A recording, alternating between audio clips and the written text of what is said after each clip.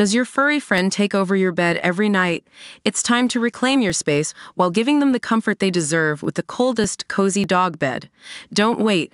Check out the link in the video description to buy now on Amazon. A star of Million Dollar Listing Los Angeles has accused luxury real estate agent Tal Alexander of sexually assaulting her amid claims that he and his twin brother abused women for decades.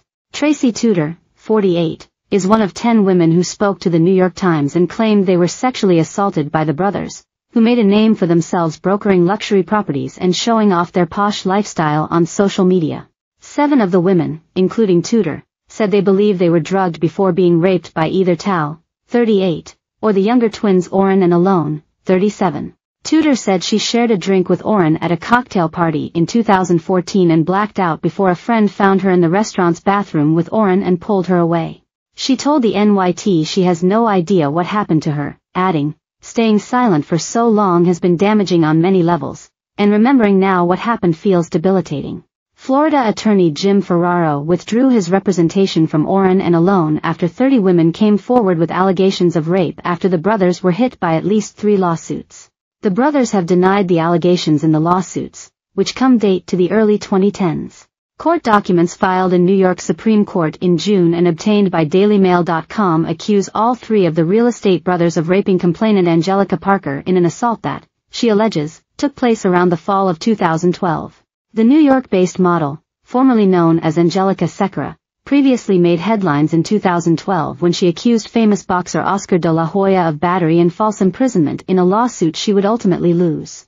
In a complaint that echoes that brought by Rebecca Mandel and Karen Whiteman, Parker alleges that she was raped by Alon and Tal Alexander, together, in a coordinated attack that was planned and facilitated by Oren Alexander along with his brothers. Oren is accused of sitting and watching the rapes.